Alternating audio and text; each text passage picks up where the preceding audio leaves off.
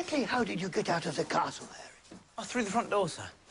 I'm off to Hagrid's, you see. He's a very dear friend, and I just fancy paying him a visit. So if you don't mind, I will be going now. Harry! Sir, it's nearly nightfall. Surely you realize I can't allow you to go roaming the grounds by yourself. Well, then by all means, come along, sir.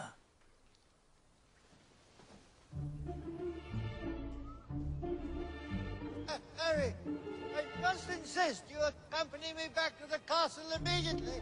That would be counterproductive, sir. But what makes you say that? No idea.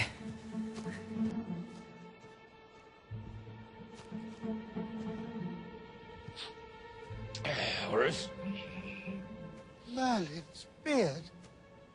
Is that an actual acromantula? A dead one, I think, sir. Good God.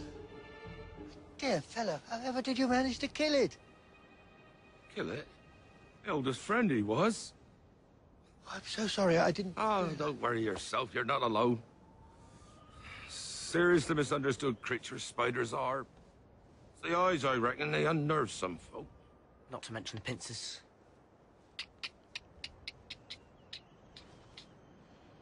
Yeah, I reckon that too. Hagrid, the last thing I wish to be is indelicate, but acromantula venom is uncommonly rare. Would you allow me to extract a vial or two, purely for academic purposes, you understand? Well, I don't suppose it's going to do him much good now, is it? Uh, my thoughts exactly.